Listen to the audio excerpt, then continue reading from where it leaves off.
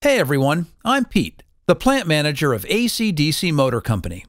I'm here to help you get started on the right foot here in Plantville. As you can see, three of the four plants at Plantville are not doing so well. What's the reason? KPIs. KPIs are key performance indicators.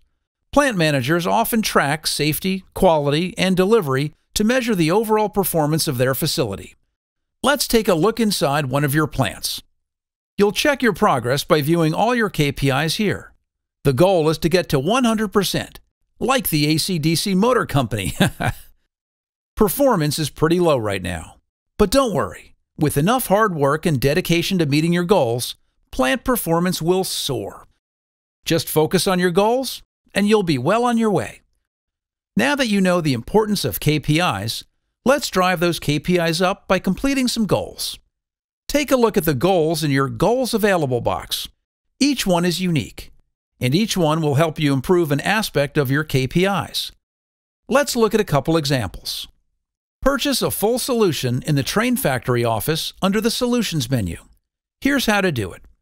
There are a lot of options, as you can see.